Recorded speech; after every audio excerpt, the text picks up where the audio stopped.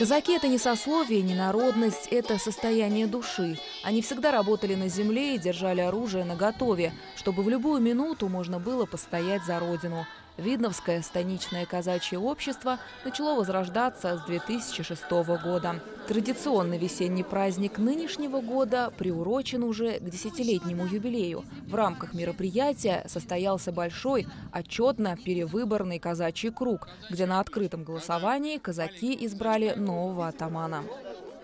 Выбор – это такой обряд э, достаточно специфический. Э, в нем участвуют только казаки, э, члены нашего общества. Соответственно, у нас тоже здесь некое подобие есть казачьей демократии.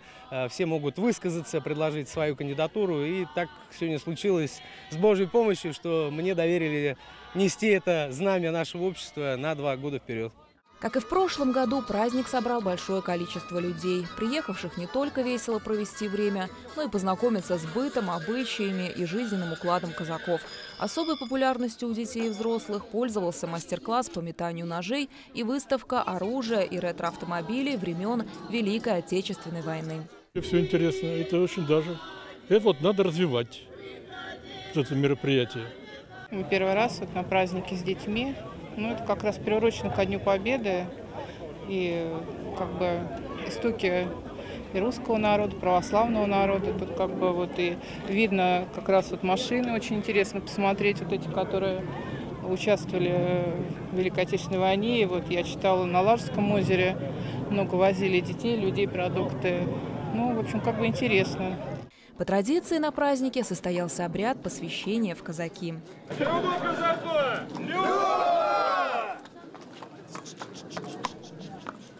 Казачьему роду! Нет, роду!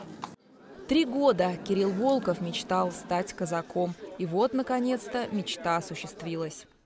Терпи, казак! Атаманом будешь!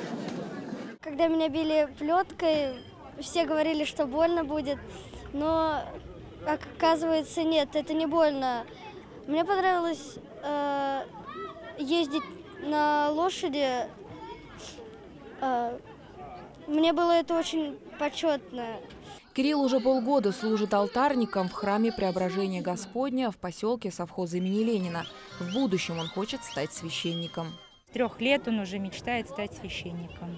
С трех лет вот он грезит этим. И вот а не знаю, ну он с прабабушкой, со старенькой, с нашей э, съездил э, на Видно, в Георгиевский храм, начал ездить туда, ему очень понравилось, э, как, наверное, свет падает в храме, как вот батюшки поют.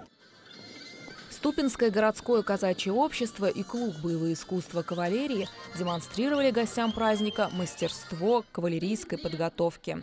Сложные трюки, великолепно исполненные элементы джигитовки, рубка шашкой лозы и бутылок на скаку из земли – все это действительно завораживало абсолютно всех присутствующих. Наталья Буслаева, Евгений Петров, Анастасия Нурхонова, Видное ТВ.